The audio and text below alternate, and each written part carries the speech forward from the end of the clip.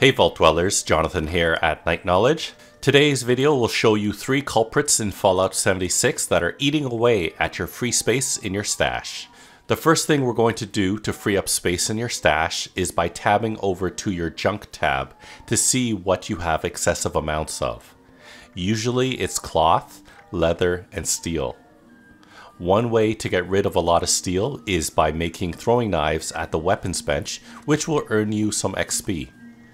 Afterwards, you can scrap them to regain some of the steel back.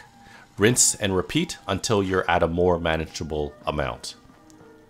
If you're a non-power armor user, you can make stacks of level 1 leather armor and scrap them to learn mods.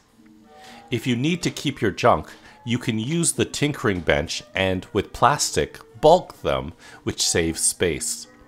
Typically bulking only is worth it though for aluminum and lead, but the main reason for bulking it is it allows you to sell the junk at vendors. While you're looking through your junk tab, look out for some items that are used to turn into other items. Auto scrapping won't scrap these items, and they're usually quite heavy, so you can manually scrap them to save weight. The second area I'd recommend looking at is the Aid tab. I found in certain power armor builds that I'm rarely taking big damage and have tons of Stimpaks, Radaway, and Rad-X. Not to mention combat meds that I don't want to get addicted to. Sell these along with probably tons of purified water that you have saved up.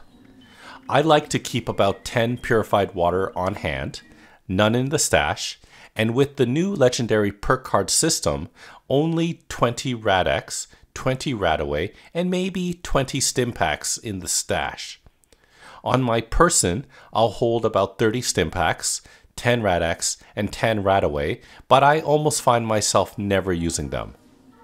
Your experience might be different, especially if you're not using power armor once again, but what I'm trying to get at is that these are aid items that are probably clogging up your stash unnecessarily.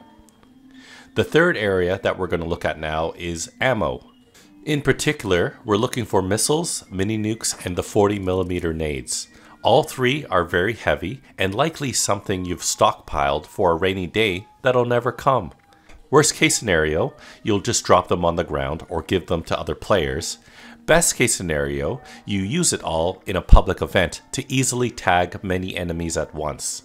Same thing with grenades, I'll equip them all and throw them every few seconds in public events to tag and earn experience credit.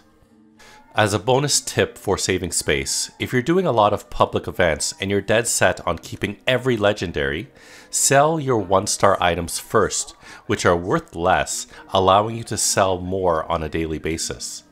If you have too many legendary power armor pieces, I would even look for empty power armor chassis and throw them in because when power armor pieces are stored in a chassis, it only weighs 10 pounds no matter how many pieces are inside. So those are my space saving tips in Fallout 76. I hope this helps you out. Check out the rest of my channel for other videos on Fallout 76 video games, board games, and other fun things. Thanks for watching, and I'll see you next time.